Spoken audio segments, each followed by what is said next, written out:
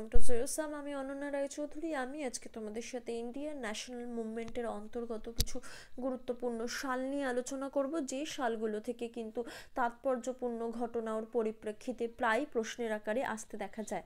তো ফার্স্টেই আমরা আলোচনা করছি ফার্স্ট রাউন্ড টেবিল কনফারেন্স নিয়ে, যেটা হয়েছিল টুয়েলথ নভেম্বর সালটা ছিল উনিশশো এই ফার্স্ট রাউন্ড টেবিল কনফারেন্স কিন্তু অ্যারেঞ্জই করা হয়েছিল অ্যাজ ইকুয়ালসভাবে ব্রিটিশ এবং ইন্ডিয়ানসদের মধ্যে।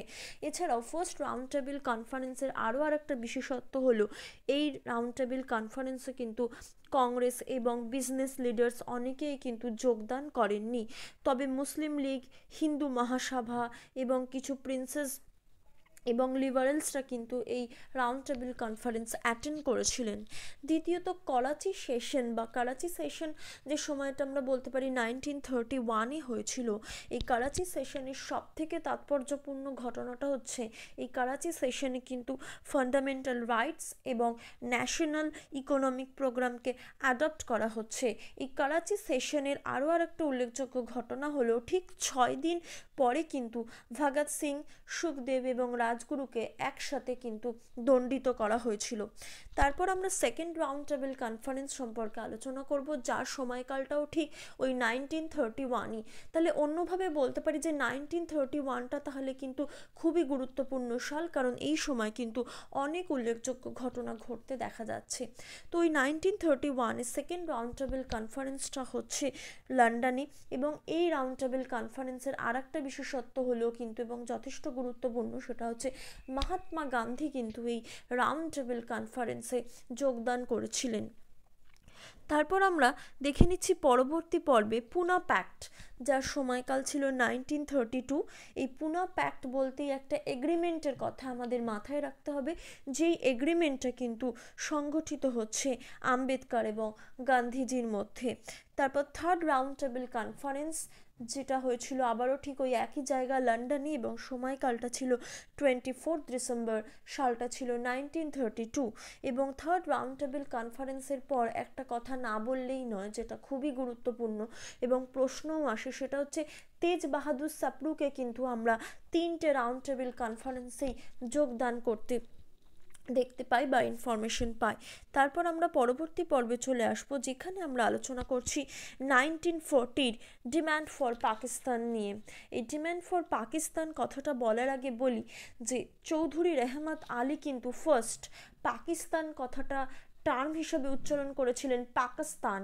তারপরে কিন্তু পাকিস্তান কথাটা এসছে এবং উনিশশো চল্লিশ সালে মুসলিম লীগ কিন্তু এই প্রপোজালটা পাশ করেছিলেন যে সেপারেট পাকিস্তান গড়ে তোলার জন্য এবং উনিশশো চল্লিশে এই ডিম্যান্ডটা কিন্তু লাহোরে করা হয়েছিল। তারপর আমরা ক্রিপস মিশন সম্পর্কে আলোচনা করছি, যারা নাইনটিন ফোরটি টুতে আস্তে ইনফরমেশন আমরা পেয়েছি। এবং এখানে দেখা যাচ্ছে যে গান্ধীজি কিন্তু এই ক্রিপস মিশনকে নাইনটিন ফোরটি টুতে যে ক্রিপস মিশন আসছেন এই ক্রিপস মিশনকে গান্ধীজি কিন্তু বলছেন পোস্ট ডেটেড চেক ইনে ক্র্যাশিং ব্যাংক লাইনটা ঠিক এইভাবেই তুলে কিন্তু প্রশ্ন করা হয় যে ক্রিপস মিশনের সম্বন্ধে কে এই উক্তিটি করেছিলেন? অথবা উক্তিটা তুলেও বলা হয়ে থাকে যে কার সম্পর্কে এই উক্তিটা গান্ধীজি করেছিলেন? অর্থাৎ এইটা কিন্তু আমাদের ভীষণভাবে মনে রাখতে হবে। তারপর আমরা চলে এসেছি, রয়্যাল ইন্ডিয়ান নেভি রেটিংস যে হয়েছিল, তার সময়কালটাও জানতে চাওয়া হয়। বহুবার প্রশ্ন এসছে, nineteen forty six, eighteen February.